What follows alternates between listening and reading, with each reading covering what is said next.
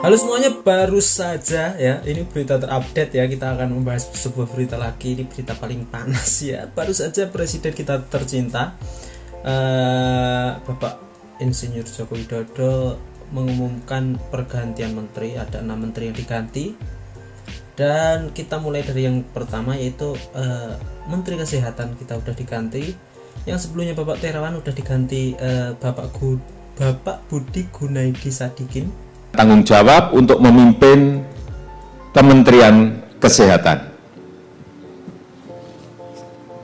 Setelah itu Menteri eh, Agama ya, eh, Menteri Agama terbaru yaitu Bapak Yakut Kolil Kaumas akan berikan akan kita berikan tanggung jawab sebagai Menteri Agama. Setelah itu Menteri Perdagangan eh, Bapak Muhammad Lutfi. Duta Besar Indonesia untuk Jepang dan terakhir Duta Besar Indonesia untuk Amerika Serikat. Uh, selanjutnya ini dari Menteri Kelautan dan Perikanan uh, karena Menteri yang terdahulu kena ini ya ditangkap KPK gara-gara benih lobster benih lobster ya dan sekarang diganti Bapak Sakti Wahyu Trenggono untuk menjadi Menteri Kelautan dan Perikanan.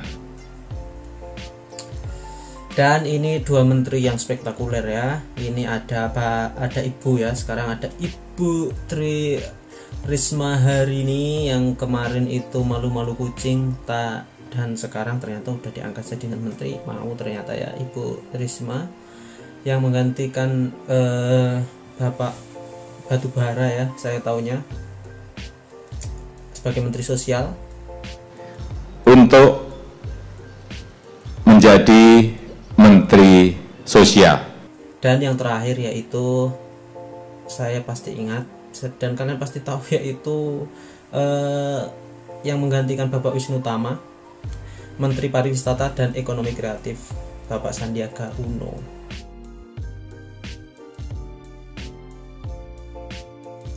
Oke, jadi gini ya, sebelumnya tak masalah sih mau mengangkat menteri siapa pun itu hak prerogatif seorang presiden, seorang eh, pemimpin negara ya mau mengangkat menteri siapa pun.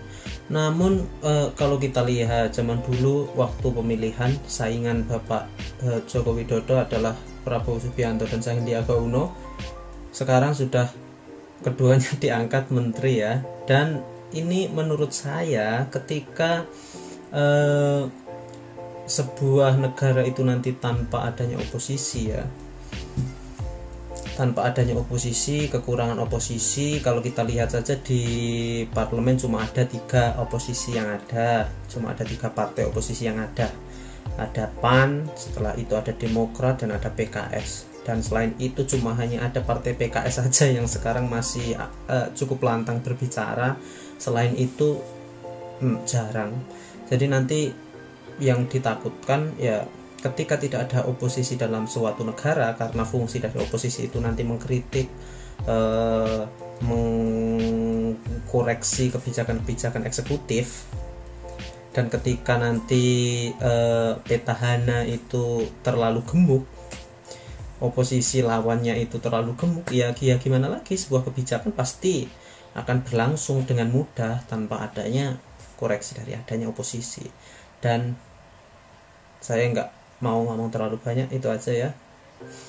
E, jadi ketika sebuah e, pemerintahan itu tanpa oposisi berarti ya antara check and balance-nya itu kurang terimbang karena e, pertama kali dibentuknya trias politika adanya eksekutif, legislatif dan yudikatif itu adanya e, adanya gimana ya check and balance atau keseimbangan antara keduanya saling mengkoreksi.